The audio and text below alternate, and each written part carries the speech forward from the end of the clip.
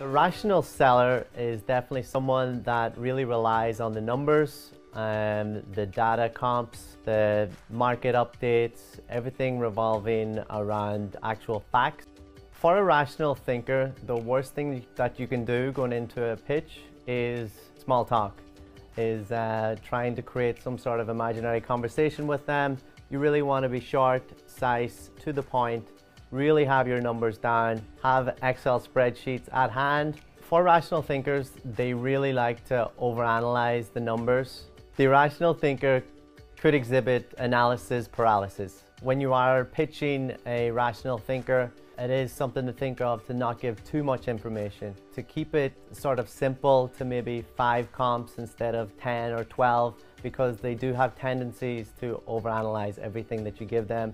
They're going to take longer. A great example to use with them would be to have them in a Compass Collections, um, have them interact, have them see the real-time data on what is exactly on the market.